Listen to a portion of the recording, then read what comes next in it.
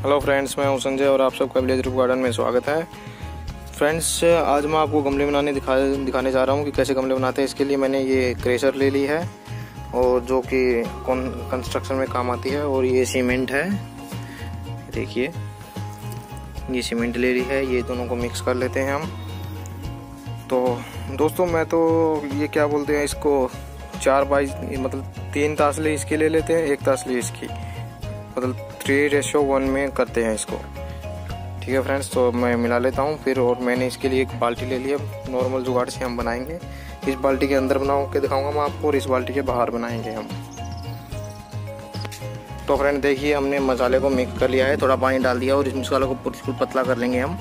ये बड़े वाली बाल्टी के अंदर मैंने छोटे वाली बाल्टी रख दी है। इसके साइड में थोड़ा थोड़ा जगह बचा है एक एक इंच तो आप ऐसा कोई खान खाचा बना ले जिसमें ऐसा जगह बच जाए। तो अभी इसमें मैंने ये रख दिया है, ईट रख दिया है। अब इसके अंदर वो मैं थोड़ा ज़्यादा भारी है, इसलिए इसके अंदर और रख दूँगा, फिर साइड में पतला मसाला भर देंगे। ये मैंने रख रहे हैं। अब हम मसाले को बिल्कुल पतला कर लेते हैं, फिर इसमें डालेंगे। तो फ्रेंड्स, देखिए, मैंने ये मसाला बनाया था बिल्कुल पतला करके तो इसके चारों साइड से भर दिया है, देखिए। नीचे वाली बाल्टी तक ये रखा है, ऊपर वाली बाल्टी तक नहीं लाया हूँ। मैं दो घंटे इसको ऐसे ही रहने दूँगा। दो घंटे के बाद मैं इस बाल्टी को निकाल लूँगा और इसके बीच वाली बाल्टी को भी निकाल लेंगे। फिर कल इस बाल्टी को निकालेंगे। और फिर ये गमला ऐसा बनेगा, क्योंकि मैंने कल एक गमला बनाया था, पहले ट्राई करके देखा था कैसा बनता है। तो ऐसा बनेगा ये गमला।